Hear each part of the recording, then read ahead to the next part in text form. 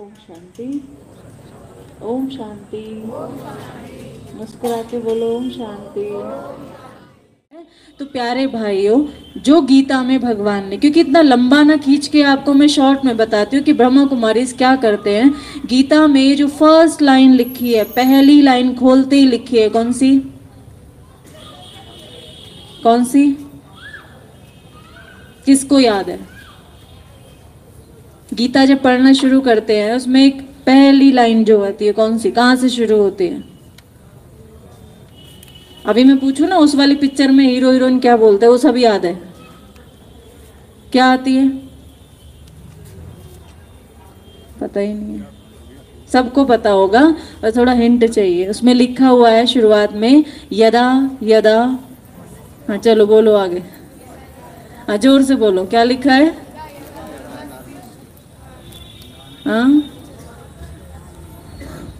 यदा यदा हि धर्मस्य ग्लानिर्भवति भारत, अभ्युत्थानम अधर्मस्य तदात्मानं सृजाम्यम। अर्थात अर्थात, जब जब सृष्टि पर धर्म की अति गलानी होगी, तब मैं यहाँ आऊँगा।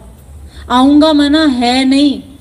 हम लोग तो सोचते हैं कण कण में भगवान है। तुझ में भी, मुझमें भी, इसमें भी, सुअर में भी, कुत्ते में भी, बिल्ली में भी, सब में प्रभु है। गलती हमारी नहीं है, बात सच है। पर कैसे वो सब में है, उसकी याद और उसका प्यार हम सब में है। लेकिन अगर वो सब जगह होता तो हम उसकी याद में हाथ ऊपर ना करते, हम कभी उसको ऊपर वाला कहकर ना बुलाते। जब भी कुछ काम होता है, चार लोग बहस कर रहे होते हैं, कुछ काम पूरा नहीं होता तो हम क्या बोलते हैं? चल छोड़, ऊपर वाला जाने। किस पे छोड़ा? ऊपर वाले पे। अगर वो कण कण में है तो आपने क्यों नहीं कहा अंदर वाला जाने? क्या बोला? ऊपर वाला जाने। ये किस लिए कहा? क्योंकि मीराबाई बहुत प्यार करती थी। बहुत सारे ऋषि, मुनि, भगत ऐसे हुए जो भगवान से बहुत प्यार किया और जिससे हमें बहुत प्यार होता है, उसको हम कहीं भी महसूस कर सकते हैं, देख सकते हैं। आप सब जितने भी यहाँ बैठे हो, मैं आपको बोलूँ, आप महसूस करो, आपका बच्चा आपके साथ में है। सिर्फ़ मन से सोचना है। सोच सकते हैं?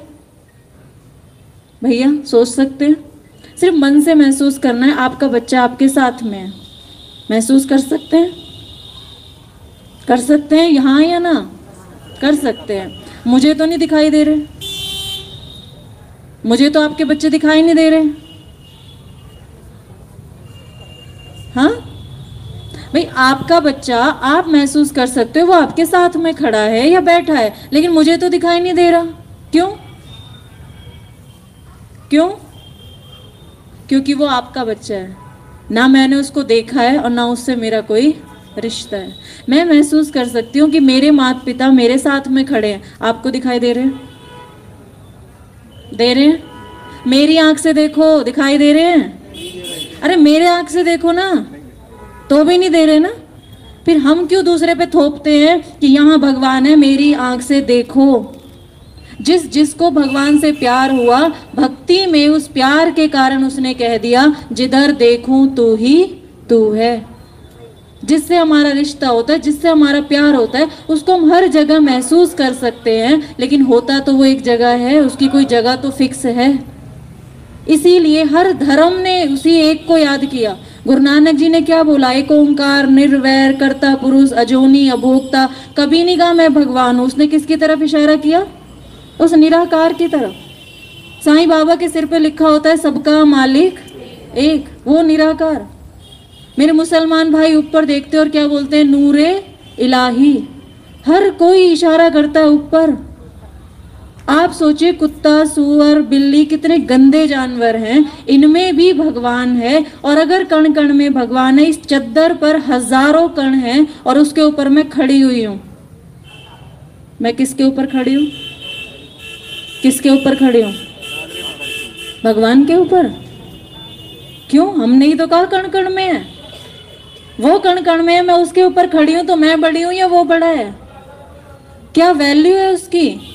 लेकिन गलती हमारी नहीं है। जो हम सुनते आए, उसकी भावना को ना समझकर हमने उसको गलत रूप से ले लिया। इसलिए प्यारे भाइयों, बहनों, भगवान की याद सर्वव्यापी है। आप उसे उठते, बैठते, सोते, खाते, पीते कभी भी याद कर सकते हैं। बशर्ते एक प्यारा सा रिश्ता बनाए। इसीलिए कह दिया, परमात्मा सर्वव्यापी।